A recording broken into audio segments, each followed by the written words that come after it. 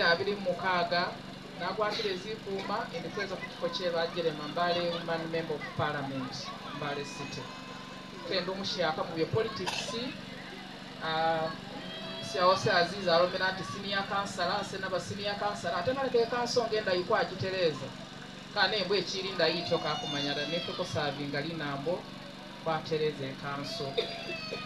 niimako nibo emupinga wapakagula wapaka bulafiire nima niba atubeseza era mwanomera mutule nisambo zimbiro kino kima kyebakasi kyerero niziri kukyebakasi kemanya kyesi munanomera ddala mwanomera muti ukiira omujeki kolini experience. Nakula ndi niba bizuku. Experience ndi kusavinga linambo isavinga uganda yose kale kyerero kawo kyemumbanza balebe mumbonero erala kira sheka uhalali aliwo halali ni haramu. Konya walome kikumanya enjawulo eriwoda kuyimire bagali nenga ngobene munamanya enjeri yesi mukizamu halali nenjeri yesi mukikolamu nakirekerewo etyo baba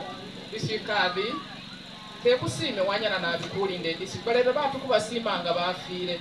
ne muba disitulikiti mu uganda balindire bulayizi disitulikiti baba ayalindire bulayi disitulikiti yembale baba wanyera nabikulinda edisitulikiti yebusiramu era kulumba wera akusasulemu kisinga bulayi. Beliyombo lyakabayoko oliwulira da amanye engeri yesasinisa liyombo inyanga enembalomba kulombere busiramu mwinambo kulombere mufuti wefe kubanga bitu biliwo bisomooza nenga basiramu kulombe kutiwera abitereze kube budwera kale balebe esembayo embalombe eti biri abiri mukaaga mukanzibirira sendi wewenye mubonerera nasigala le dr sara wasadalika nabi mwanyala nekupa mukisa kubwetiba kyesa assalamu alaikum warahmatullahi wabarakatuh